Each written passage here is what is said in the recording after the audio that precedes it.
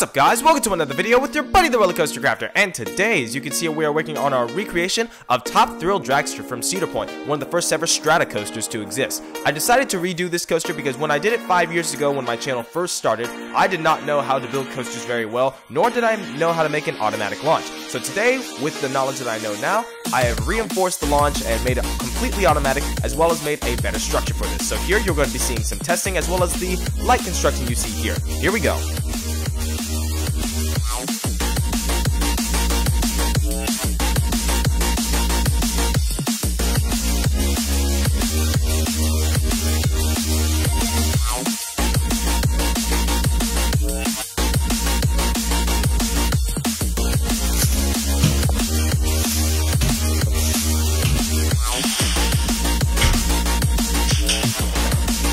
Alright, that's to do it for today's video. Thank you guys so much for watching and I hope you enjoyed it. If you would like to see more on how my K'NEX launches work, go ahead and check out the video right here and check out some of my latest K'NEX roller coasters as well. Don't forget to like and subscribe for more videos as I will keep them coming. Thank you guys, I'll see you next time on the Coaster Crafter channel. Peace!